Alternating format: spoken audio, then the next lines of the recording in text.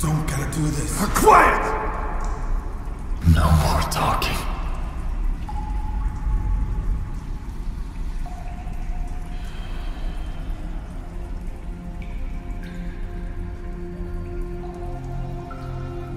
We were always so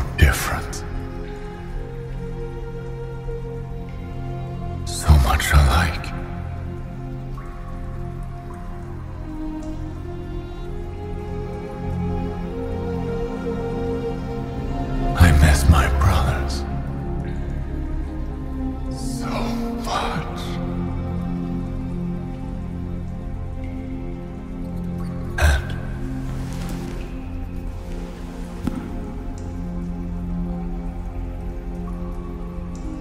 I miss my